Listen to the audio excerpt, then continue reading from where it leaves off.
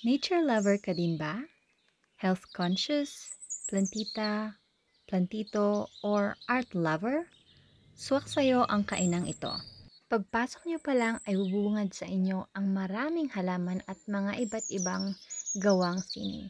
Pwede kayong mamili kung saan nyo gustong kumain or pumesto basta hindi gaanong marami ang tao. And dito nga kami pumesto and medyo malamig dito dahil nga yung hangin talagang papasok dyan. And ayan, habang nagaantay ng mga in-order nyong food, pwede kayong mamasyal muna or lumiwat dito. Ayan yung CR nila pang babae.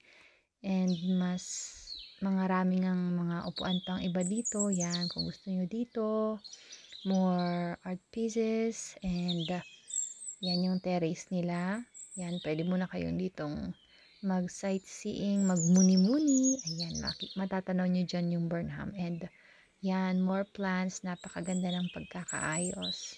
Ayan, sa mga mahilig sa plants dyan, ay nakaka-relax talaga dito. Yung mata nyo ay mabubusog sa mga halaman. And sa mga art materials, uh, art pieces, ayan, napakarami. And may live din na nagki-keyboard dyan ng napaka-relaxing na music. And dito nga yung CR nila na panglalaki. Ayan. And may shokoy, ay, koi fish pala. And ayan na nga mga food. Ayan, oh, tat- natikita nyo. Tingin, sa tingin pa lang.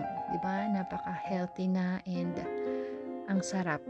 Yung salad na in-order namin yun ay bestseller siya. Ma marirecommend ko talaga yung salad nilang yun. And ayan, more healthy kind of sandwich and uh, drinks also. Ayan.